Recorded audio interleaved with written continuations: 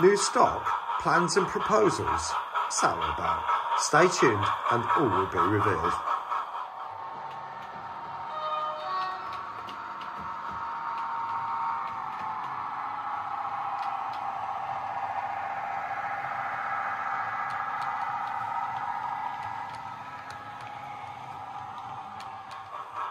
Well, good afternoon, everyone, and welcome back to Piccadilly Model Railways. Now, you might be thinking, what on the name of sanity is going on here? Well, it's there's been some developments on the double gauge layout. Now, before I show you what's going on here, let's have a look at the layout, and I'll just remind you of what I plan to do. Welcome back. So this is my double gauge layout, Piccadilly sidings. Um, some of you might be more familiar with my N gauge layout, which is based around Manchester Piccadilly and simply called Piccadilly. But I built this one probably, I think it must be getting off nearly two years ago now, to be honest, when lockdown started and we're all sort of hemmed up at home, not allowed to go out. And um, I just wanted something to do. So I felt I'd have a go at building another layout. And I always felt that Double O had more features, if you like uh, than N-Gauge, as much as as brilliant as N-Gauge is, and, and it's starting to catch up, but Double O is always going to be that little bit further ahead, if you know what I'm saying, with different things that the locos can do and all sorts. So I fancied having a go and delving delving into it, if you like. So let's start at one end, and it's basically, then for those people who have not seen the layout before, but we've got a bit of a woodland area here. And the, the original idea of this was to have like a bit of a hidden fiddle yard, if you like. So a train could sort of go into this gap, be hidden by the trees, and then come back. And it is actually a dead end. If I take you down there, you might even be able to see the block of foam just down there. Yeah. So that if I, if I did have a train sort of run away, it wouldn't crash as such. But uh, there we go. We've got a bit of a campsite here and the two people on the bridge there are having a bit of a barney. Oh dear, something's happened in their life, but that's where they're staying. And um, the the the tent, which is that, has caught fire. And um, yeah, let's move on, shall we? Anyway, we've got the bridge coming up here. Now, I haven't finished this area at all yet. That's why we've got these horrible gaps down the side here, because that actually lifts out. And the idea of that is to give me more space and access when I finally do put some water in here, which I've obviously still got to do. So once that's done, eventually that will be sealed in and these gaps will be um, filled up. There's no reason why, other than that, it needs to lift out. But anyway, that's the way it is. And then we've got the name of the layout here, obviously, which is Piccadilly Sidings, which is based around this.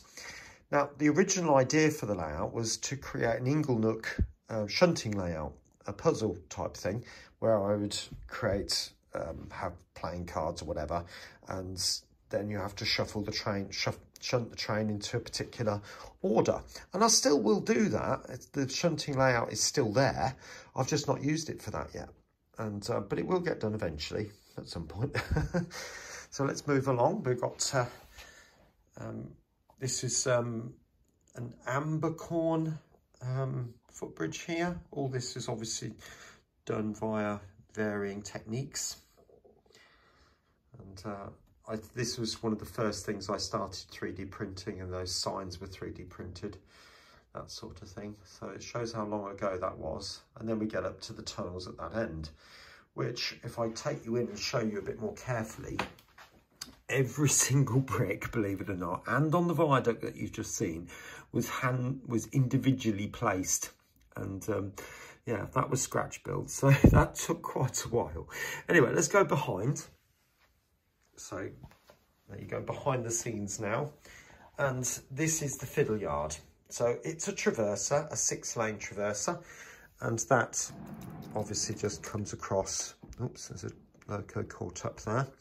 But that just lines up with the single track that comes out and then I can run six tracks across it and then choose whichever train I want. But like I said, one of the things that I don't like about this layout is the fact I can't run trains continuously. I want to be able to set a train going and just watch it go round.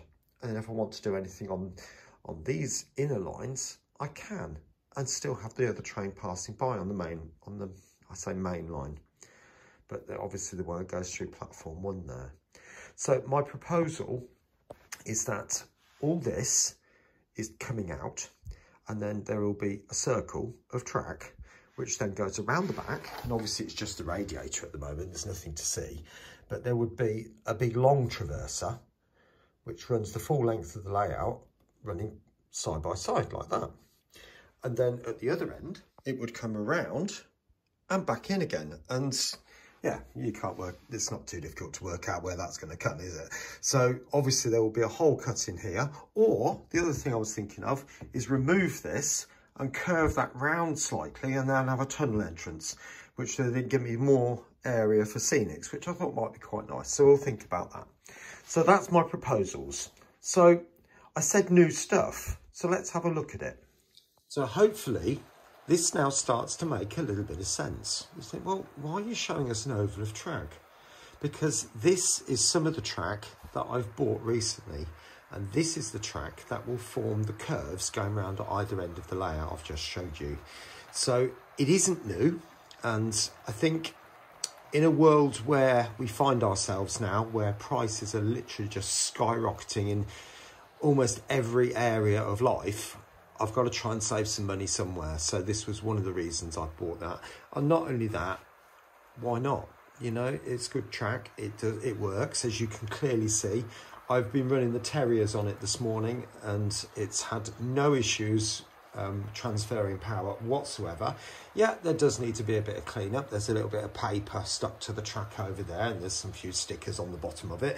But so what? It's fine.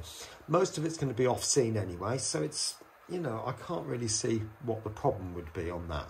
So that's one of the things. Now, you might also notice I've got six coaches on this train now.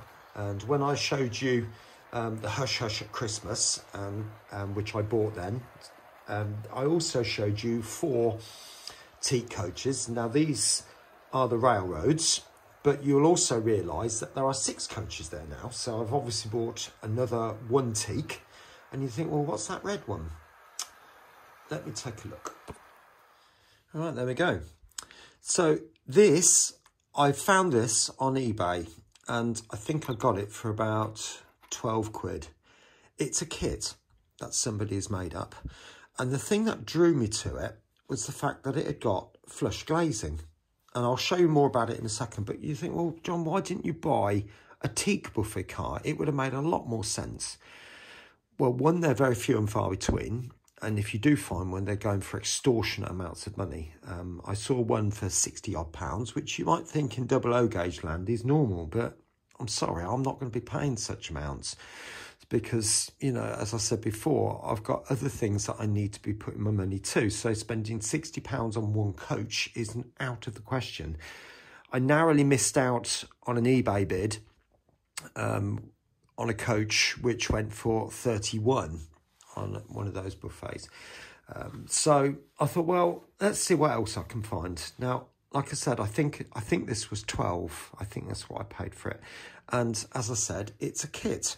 Now, it's not perfect by any means, but I think when the train's going round and round, I think that'll be absolutely beautiful.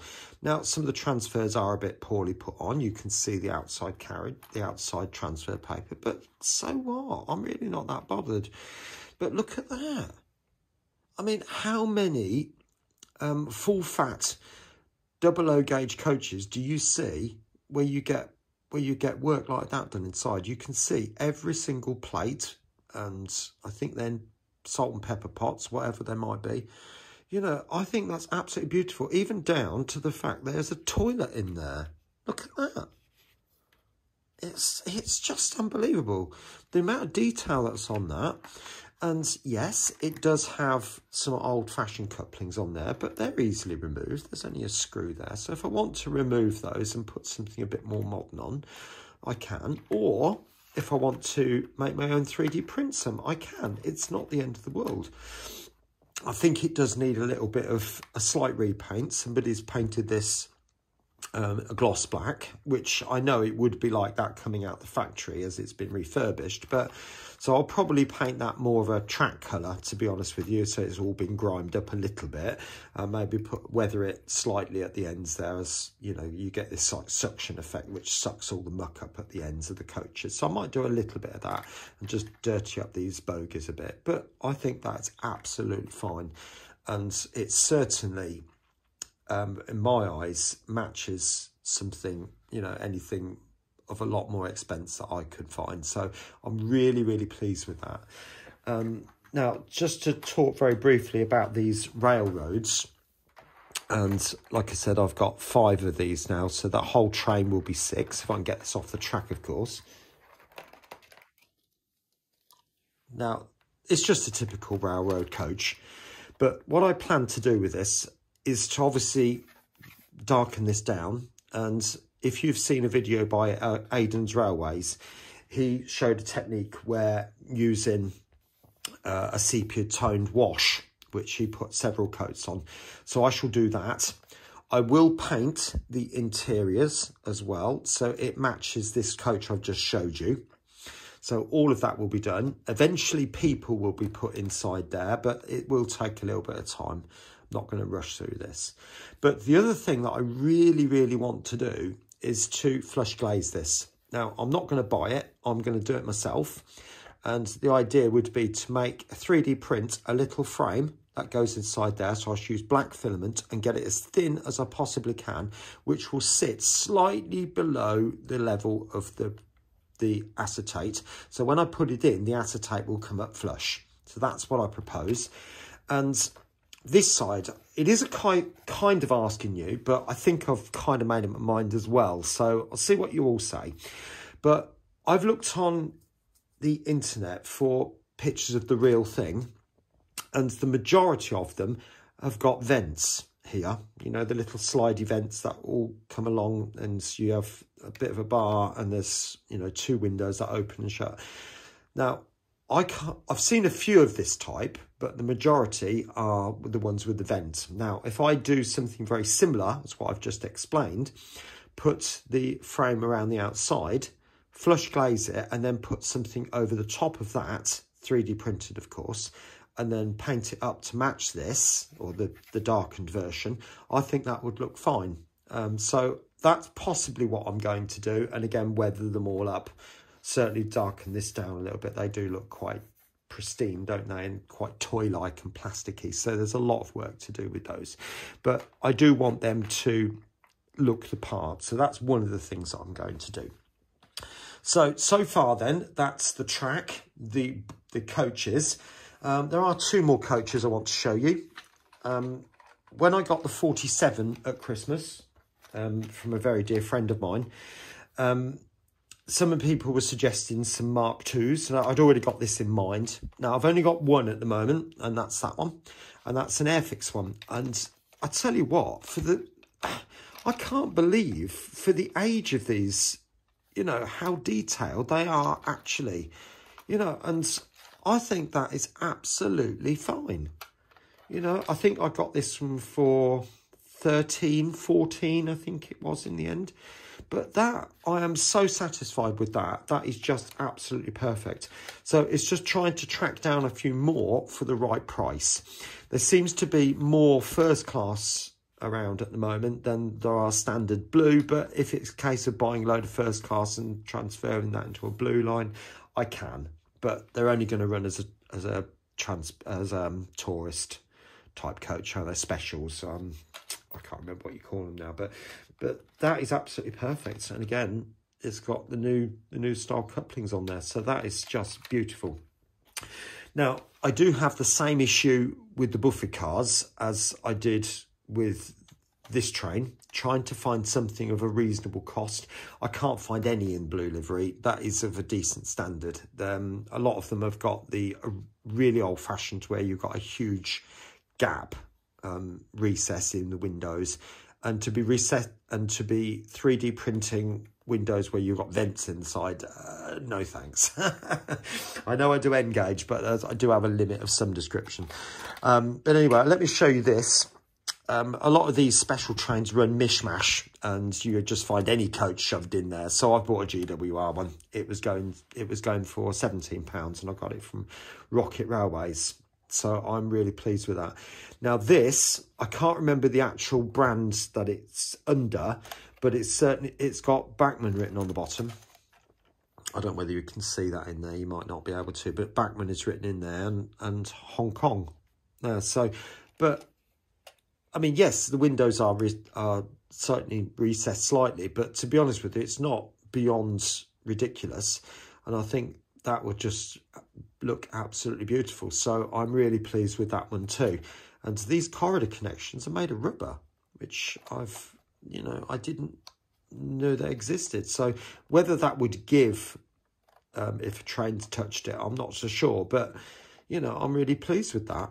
And um, for the money, beautiful, absolutely fantastic. So, you know, that's that. But there is a big development. Let's take a look. I've got some board. And some of you might remember at Christmas, I decided to cut up my old settee uh, because it was had it basically and I bought a new one. Now, I'm not showing you that, that's totally irrelevant. But I went out this morning and I was looking at uh, the cost of some 12 mil plyboard and I thought I might as well go for it. Um, so I've got four pieces and you can see there is a piece here which I think is 240 millimeters wide. This one is 430 millimeters wide. Now these are for the traverse section.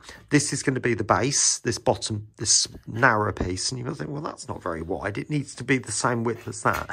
But what I'm planning to do is to put some two by one on the side of that in uh, long lengths going across it. That could be screwed in from the back and then any draw runners can then be fitted to the two by one and then the, the top board will have all the tracks on it and then that can then slide back and forth as such like the other one does. But this this board I think if I'm remembering correctly will fit 10 tracks on it. And look at the length of it. That's two that's 2.4 meters. So I can have all my trains out um, and stack them up one behind the other. And if I buy, an, if I decide to buy a new train, um, which I might, um, you never know, things might, um, something might come along. And those two boards in the middle, the one by the golfing man, um, they are for the outside edges. They will take the curve of the track, i.e. those bits and I might need to cut them down ever so slightly.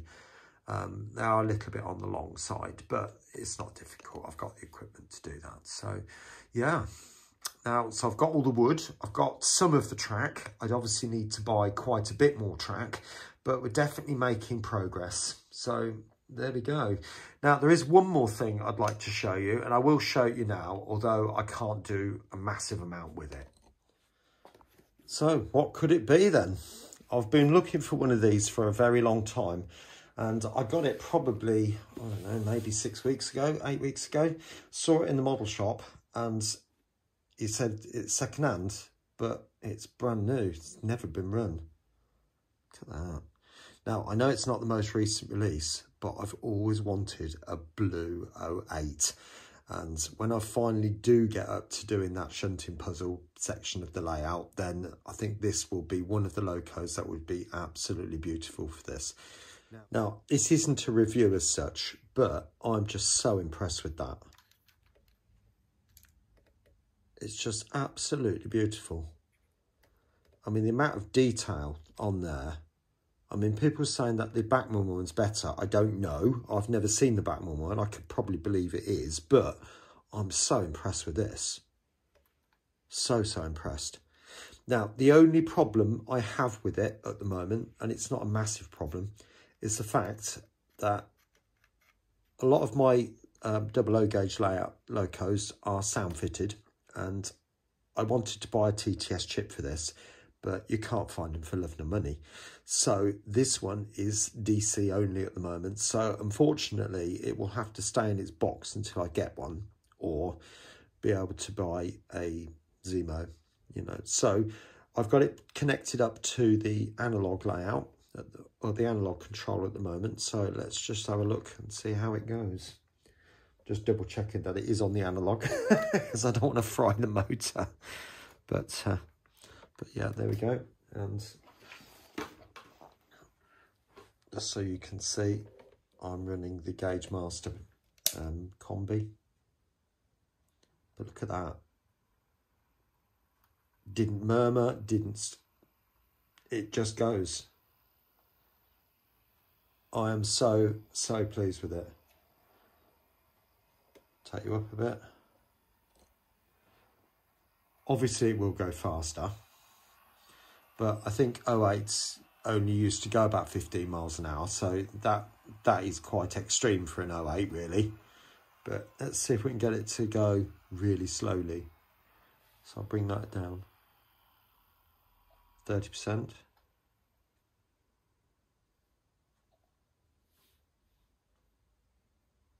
Right, it stopped there. So just take it a bit. There you go. Look at that. Look how smooth that is. That's just absolutely gorgeous. And it, oh, has it cut out? No, it's still going. No, it's cut out now. But that is just beautiful. Oh, it has stalled. I say all that and then it stops, doesn't it? But you know, I'm so impressed with that. And I think that will make an absolutely gorgeous addition to the layout when I finally do manage to get it onto DCC. Well, I'll just give you some running shots now here on the oval. Uh, but the reason for that is so that trains can be running continuously. All right, catch you later.